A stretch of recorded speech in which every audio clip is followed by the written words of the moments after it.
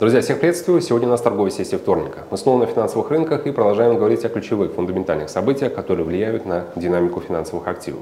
Не забывайте подписываться на наш YouTube канал Market, составляйте ваши вопросы в секции с комментариями и, конечно же, не забывайте ставить лайки.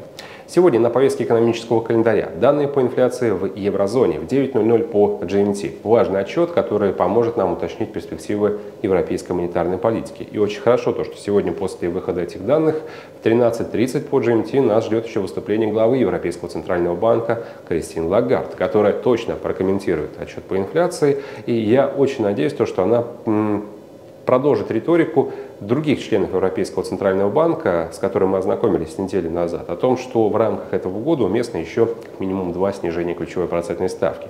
Мы сразу же после этого с вами еще раз а, заговорим а, о контрасте монетарных политик, вспомним о том, что он продолжает увеличиваться, контраст политик между ЕЦБ и ФРС, и это будет создавать э, условия для того, чтобы европейская валюта осталась в числе аутсайдеров.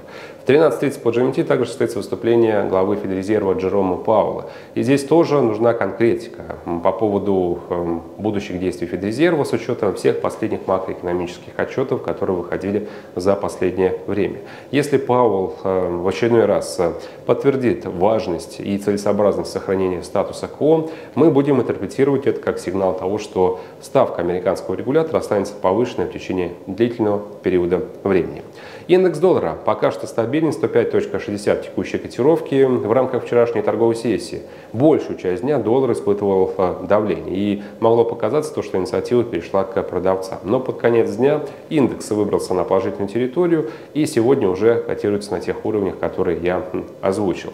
Рост доллара продолжается, несмотря на данные по индексу расходов на личное потребление, индексу PCE, который показал э, снижение индекса с 2,8 до 2,6%. И если вернуться все-таки к канонам экономического анализа, то здесь нужно признать, что снижение индекса PCE доказывает то, что дезинфляционный тренд в американской экономике сохраняется.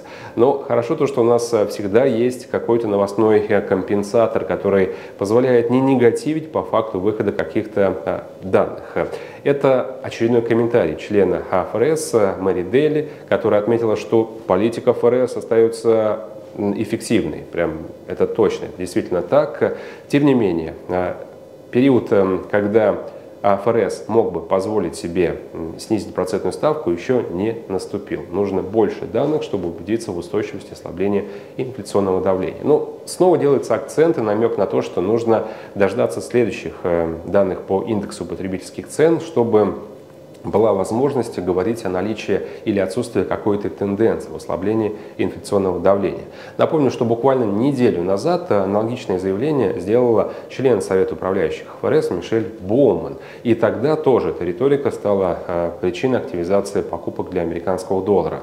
В общем, авторитетные представители американского регулятора по-прежнему за то, чтобы не торопиться со снижением ключевой процентной ставки. Но согласитесь, мы с вами не хотели торопиться со смягчением политики, поэтому сейчас сейчас э, примерно придерживаемся ожиданий общих рыночных о том, что потенциально вероятное изменение монетарной политики может произойти не раньше сентября. Но до сентября еще очень много времени, тем более, что даже в рамках этой недели нам предстоит с вами разобрать и протоколы ФРС, и еще отчет АСМ в сфере услуг, и данные по Non-Farm Payrolls, которые могут радикальным образом изменить картину и в том числе убедить сомневающихся в том, что условия для снижения ключевой процентной ставки в США еще не наступил.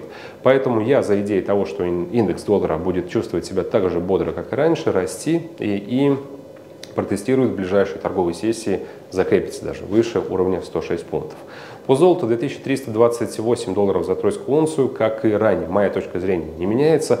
У золота вчера были хорошие шансы, чтобы упрочить свои позиции на фоне локального снижения доллара. Но этого не произошло, поэтому теперь лидером рынка будет доллар, который будет тянуть за собой доходность американских облигаций и не даст, на мой взгляд, золоту выбраться на новые локальный максимум, если, конечно же, не произойдет очередной эскалации геополитической напряженности. Тем более, что локальных регионов для этого, честно говоря, к сожалению, и счастью, хватает.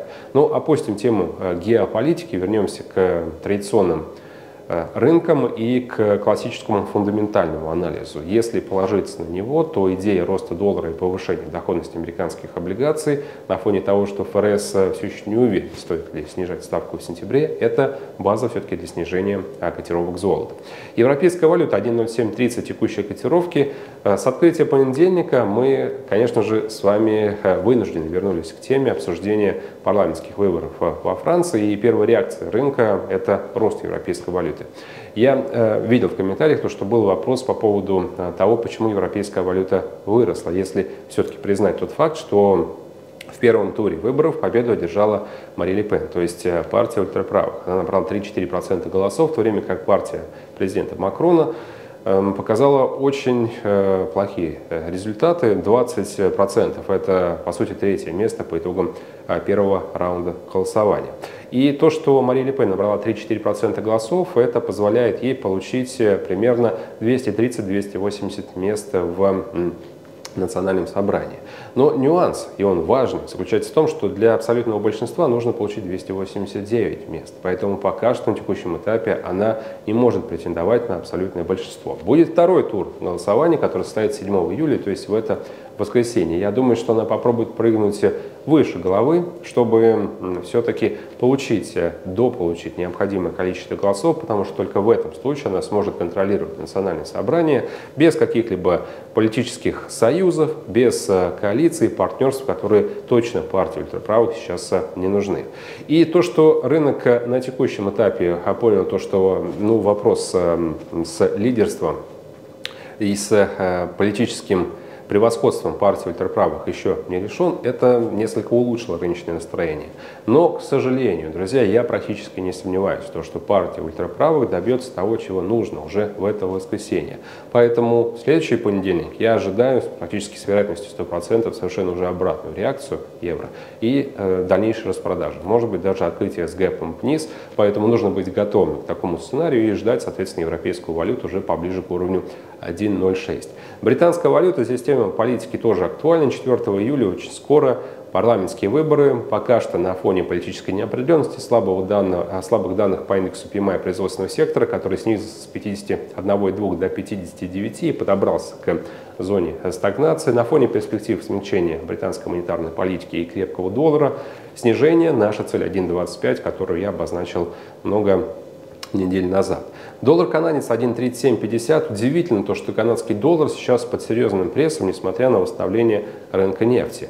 Может быть, участники рынка фокусируются уже на фундаментальных отчетах, которые выйдут по Канаде в ближайшей торговой сессии. В частности, в пятницу мы ждем данные по рынку труда и прогнозы так себе. Я тоже сторонник того, что канадский доллар останется аутсайдером, хотя бы только лишь потому, что Банк Канады точно продолжит снижение ключевой процентной ставки, в отличие от э, Федрезерва. И это позволит нам замахнуться на достижение наших целевых э, ориентиров по паре доллар-канадец 1.38, 1.39 и долгосрочная прям совсем цель 1.40.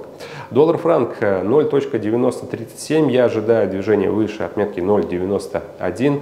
В этот четверг выйдут данные по инфляции в Швейцарии. И в прошлый раз, когда индекс потребительских цен снизился до 1,4% и соответственно, оказался в зоне целевых ожиданий Национального банка Швейцарии ниже 2%.